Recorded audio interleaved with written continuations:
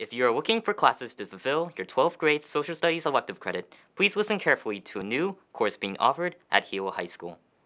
As part of the United States, living in Hawaii, we are bombarded with a variety of social issues that exist in our state and country today. The cost of medicine, immigration, the impact of terrorism, civil liberties, diversity, prejudice, and discrimination. If any of these subjects matter to you, enroll in the semester half-credit American Problem course, a class that directly emphasizes American problems here in Hawaii. In addition to the American Problems course, the other half-credit requirements can be fulfilled by the economics class. The ability to understand financial matters of both personal and national is one that matters greatly when stepping into adulthood. Economics is a half-credit semester course that provides concepts and analytical tools necessary to understand the economic problems confronting the state, nation, and world today. Students will develop the ability to participate effectively in the process of planning for their financial future.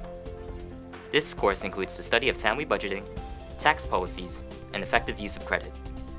Economics is everywhere in our lives, from the things we buy to the value of the land you live on.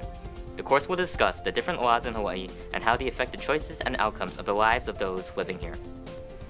If you have any questions regarding the American problems and economic classes, or if you would like to sign up, please email Mr. Yamamoto at nicholas.yamamoto at k12.hi.us.